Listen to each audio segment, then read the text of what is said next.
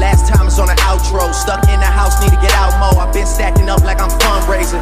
Most people in my position get complacent. Come places with star girls.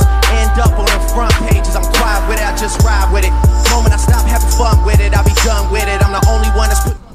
Hey y'all, this is Shy. Welcome to another day in the life vlog. I see y'all liking these, so I'm gonna keep them coming. So today I have some quick errands to run, then I really want to chill for the rest of the day. I need to go to the grocery store and I also want to grab some green juice from the coffee shop not far from me. So let's go y'all. These days I could probably pack for like 20 nights if I go in there. Back for my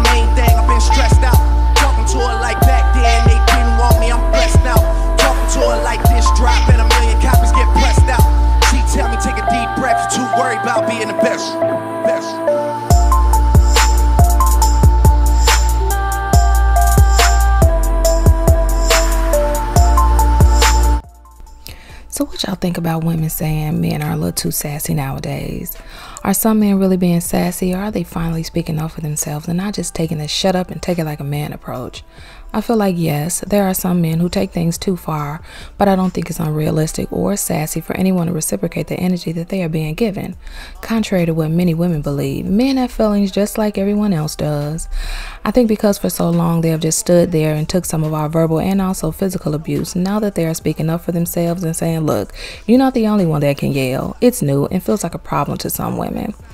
This world is filled with double standards as far as men and women go, but to think that your negative energy can't be reciprocated is not logical, in my opinion. Everyone has a breaking point, so even the most peaceful, mild mannered person can pass that breaking point.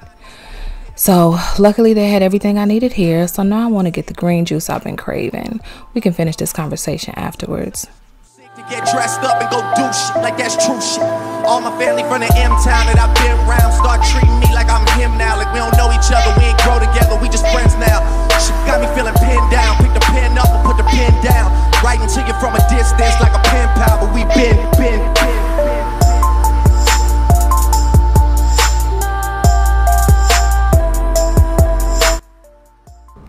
Okay, get my green juice. So, as I was saying, yes, it's our job to maintain the energy in our lives and not let others affect us in a negative way.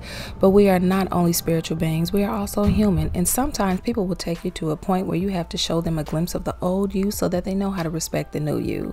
Men for so long have just taken the verbal and sometimes physical abuse some women may spew at them in the heat of the moment, and they have also accepted the goodie bag offering as a form of an apology instead of talking things out once a woman's anger has subsided. Now that men are no longer accepting that treatment no more than women should from them or any other person, some men are being called sassy. I've heard everything from if I'm yelling at my man and he yells back, I feel like that's sassy too. It's sassy for a man to want his woman to take him out and treat him nice. The idea that men should not be allowed to verbally or emotionally express themselves, especially when they are being disrespected or feeling sad, probably is part of the reason why the suicide rate for men is so high. No one is perfect or above reciprocation, and the honest truth is, you get what you give. 100. A lot of girls in my times there, word the Paul Wall, not one front.